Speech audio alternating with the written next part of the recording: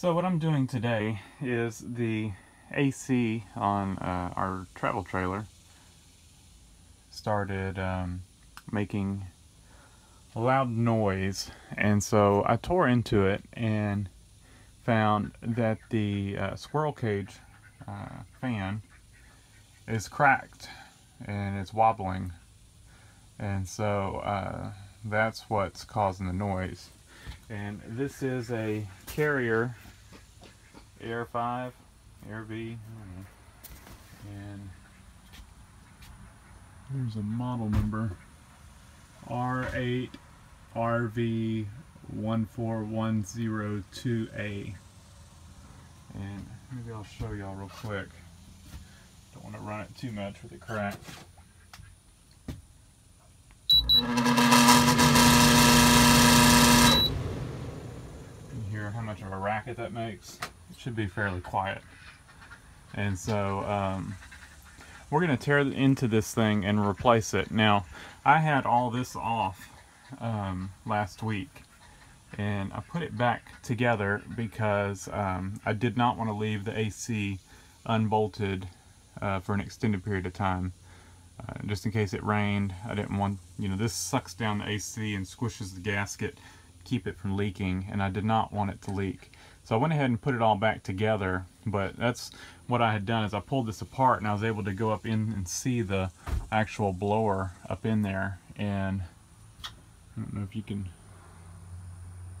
you can see through that little hole there's the blower. Um,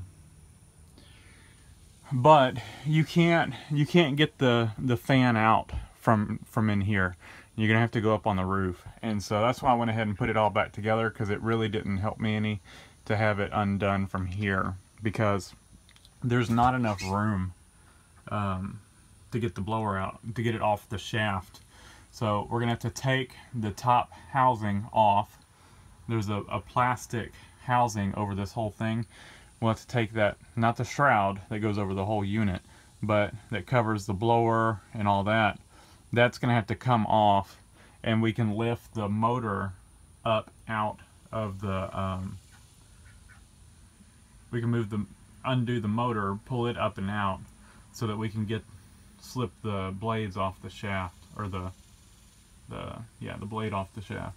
So that's what we're gonna go do. We're gonna go up on the roof. I started a little early so that it's not too hot outside because we're gonna be working on the roof for a while. Uh, luckily this thing does have a back ladder which makes it very useful to uh, get up and down. So we're gonna go up there uh, just put a few bolts back on the shroud or a few screws back on the shroud so that because um, I knew I'd be going back into it. Now the problem is this is a 2008 uh, it's 2008 Holiday Rambler Aluma-Lite um, but you know 10 years of sitting in the sun has uh, that cover is brittle and so we're gonna have to try to get that cover off without it breaking. So that's gonna be kind of difficult. So uh, let's see what we can do. We're just have to be real gentle with it um, and try to get it off without cracking or breaking it. Alright so here we are inside. Well outside but inside the outside uh, got the shroud off. Yeah, it's got a little chunk missing out of it and a crack over there. We've got some white duct tape we're going to put over that, Gorilla tape. And uh, this shroud is like over $200, so we're going to try not to have to buy a new shroud. And it was like that already. Did not do that taking it off. So um, here's the problem we've got here is you can see it is just so brittle. So this is going to be a nightmare to try to get this thing off without tearing it up. Um, make sure. So we've got these screws to take out. Once we get those out, I'm going to have to find something flat to slip in here. Uh, try to hold these out. Uh, maybe I can try to get them with my fingers. I don't know. It's just, it's so brittle. Um, but here, here's what I was talking about. We, we've got no room in here to get this thing out. Um, I think we don't have to take any of this apart. I think what we can do is if we can get this shroud off, we can undo the bolt on the, the fan and we can undo the mounting on the motor. Slide the motor. I think it's got enough room. If we slide it all the way up against here that gives us about three inches. That'll allow us enough to slide the fan off and then slide the new one on and then slide the motor back into position. That's the plan and uh, we may not have enough slack in this wire from the motor. We may have to uh, undo some of the wire here and route it a little bit where we can get some slack in it to be able to slide the motor back. But that's the plan. So I'm going to take my screws and since we're working on the roof I've got a Ziploc baggie here and we're going to put all of our screws in a Ziploc just to make sure they don't roll off the roof and it looks like we're to have to take this cover off as well. This probably has the start capacitor and the run capacitor, all that kind of stuff in it.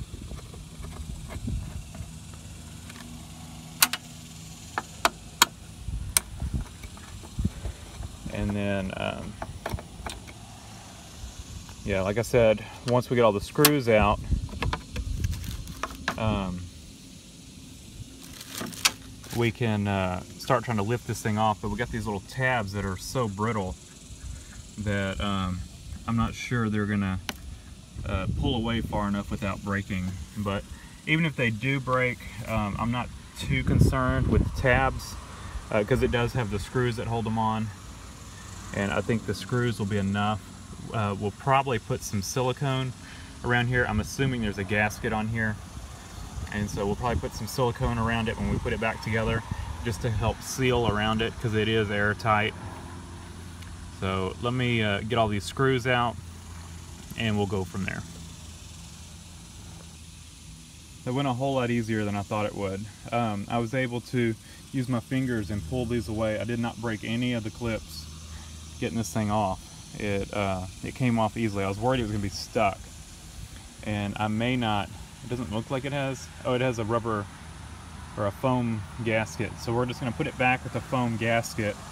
Um, I do not want silicone on there uh, for next time in case I do need to take it off again um, because that would make it stick and it would probably break apart trying to get the silicone to free up. So here we are and I can show y'all the crack on this thing. You can see it wobbling around.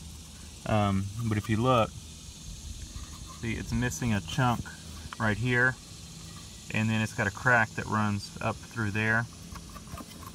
And so see it? This thing is just wobbling all over.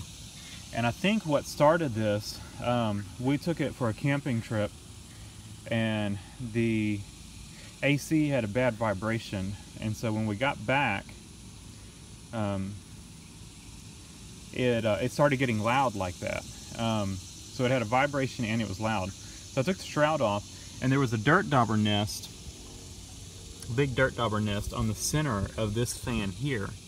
And this fan's fine, it didn't hurt this fan, but I think what happened is that dirt dauber nest threw everything off balance and so this thing was vibrating, the whole motor. And it, uh, this fan here is just kind of brittle and it uh, caused it to crack. So let's, um, you know, honestly, I might be able to, if I can just lift the motor up a little bit, I think I can slide it out. I don't think I'll have to slide the motor this way. I think I can just lift this end up and that'll be enough to clear this and bring the fan out this way. So let's do that. And while I've got this apart, I picked up some uh, cleaner to spray in here and we'll clean this all up and uh, you know might as well while we got it apart one other thing, I forgot to show y'all how I undid these clips. I just pushed down with the screwdriver. And they come undone. Push down and out. And come undone. So now the motor's undone. Should be able to lift it up. There we go. And so I'll have to get a screwdriver. I think I'm going to end up having to get a wrench. I don't think a screwdriver is going to get that off. We'll see.